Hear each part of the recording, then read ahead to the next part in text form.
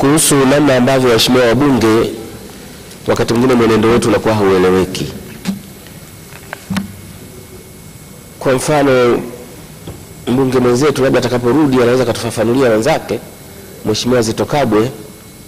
kuandika barua World Bank kwamba nchi yetu ikose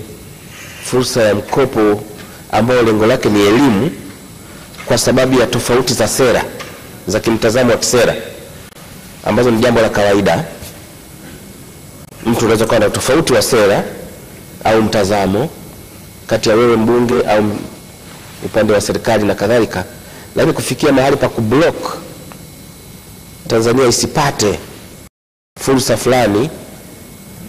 nadhani nadhani ni kwenda mbali mno, kwa sababu watoto watakaokosa fursa hiyo ni watoto wa Tanzania, ni walimu wa Tanzania, ni miundombinu ya elimu ya Tanzania. Na sijui katika hilo kama mbunge unafaidika nini, kwa sababu kama ni tofauti za kisera, haya ni mambo ya kujadili tu, na ndio maana sisi wabunge hapa. Tukianza kwa kweli, limetugusa na kutukera wengi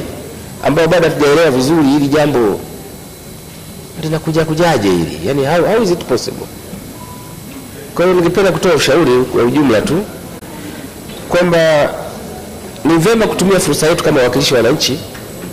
tukaelimishana, tukaelezana na kadhalika, kuliko kuwakosesha Watanzania fursa, wakati baadhi yetu hapa watoto wetu wako Feza Boys, wako Mariam Girls, halafu na block msaada kwa watoto walio wengi wa wapiga kura wetu, jambo ambalo nadhani halifai kabisa.